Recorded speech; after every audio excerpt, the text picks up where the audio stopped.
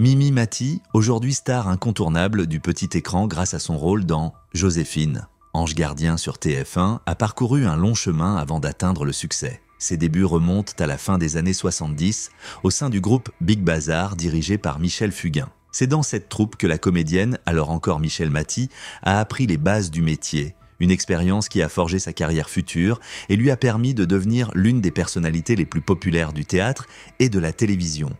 Dans une interview diffusée le samedi 9 novembre sur RTL, Michel Fugain est revenu sur ses relations avec Mimi Mati, en particulier sur les débuts de la comédienne au sein du Big Bazar. Si leur amitié s'est forgée au fil du temps, Fugain n'a pas hésité à la réprimander violemment au début de sa carrière. Le chanteur a expliqué que son comportement à l'époque le scandalisait. En effet, Mimi Mati utilisait sa petite taille comme un moyen de se faire remarquer et attirer l'attention, ce qui n'était pas du tout du goût de Michel Fugain.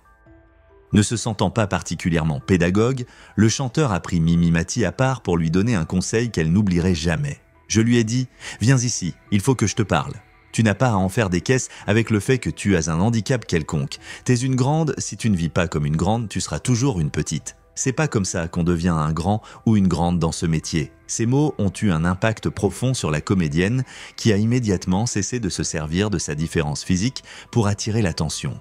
Michel Fugain considère désormais cette mise au point comme salutaire pour la carrière de Mimi Mati. Selon lui, ce fut un tournant majeur qui lui a permis de s'imposer dans le métier. Elle a arrêté immédiatement et elle s'en est bien portée, a-t-il précisé, soulignant que la carrière de la comédienne est très exceptionnelle. Aujourd'hui, Mimi Mati évolue bien loin de son handicap, et son talent et sa personnalité ont fait d'elle une figure incontournable de la scène et du petit écran.